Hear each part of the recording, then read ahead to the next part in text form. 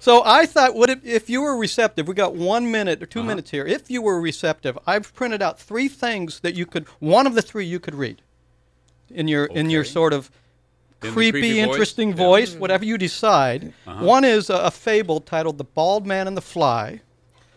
the other one is a Springsteen, his shortest lyrics, Bruce Springsteen's song "I'm on Fire," and the Hmm. third one is "How to Trim Your Toenails." Oh, Well, they Which all one- sound pretty good. They're, they're all interesting. Any of those three you could read for us online? We can well, cap- yeah, yeah, okay. I got to look at them first. Oh, oh right? okay. Let me see. All right, he's reading. He's reading. He's looking at them. They're all very short. Wash your feet and dry them thoroughly before trimming your toenails. Use the proper tool to cut your nails, such as nail clippers or manicure scissors. It's too dangerous to use other sharp cutting tools, such as razor blades or knives, or regular scissors. That's beautiful. Try this.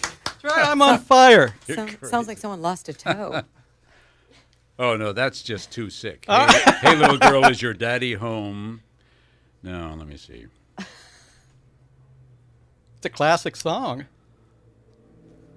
Tell me now, baby, is he good to you? Can he do to you the things I don't do? I can take you higher, though. Oh, oh, oh, I'm on fire, I'm on fire.